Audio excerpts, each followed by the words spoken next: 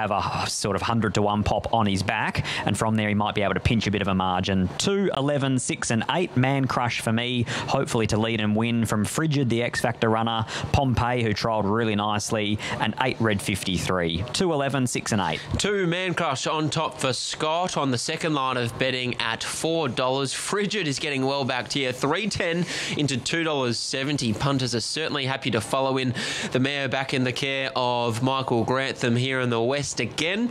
Taylor Cortland, how did you see them from the yard ahead of the feature of today's program? Unfortunately, Lockie, I'm teaming up with Scott again. Number two, Man Crush on top from the yard, absolutely glowing in his coat. He's a big, gross horse. Does carry a little bit of weight, but he's doing it really, really well out there today.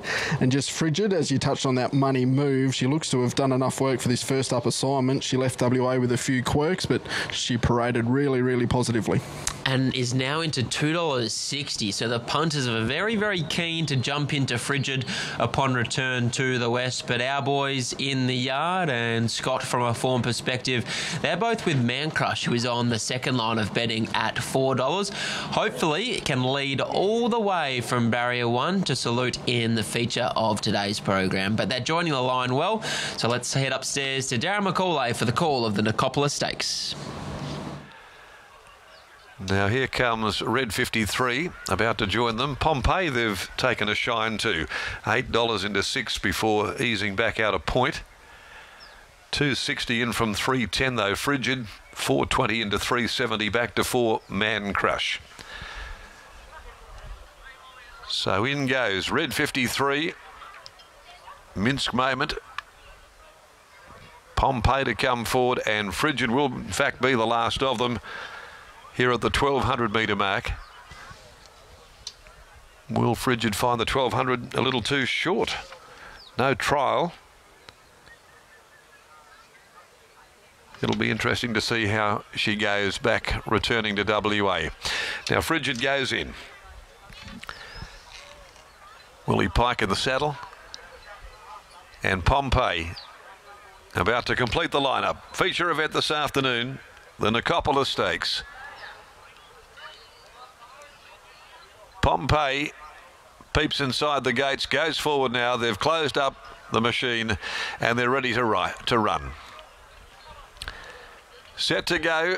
Off Parnham gave Man Crusher kick coming out of the gates and he sprung the stalls brilliantly. Coming across, Fanta's going to take him on for the lead though. Fanta's going to try and burn off Man Crush as they go up to the first corner. In behind those, Frigid settled up there nice and prominently from Super Session. Fanta's rolled to the lead.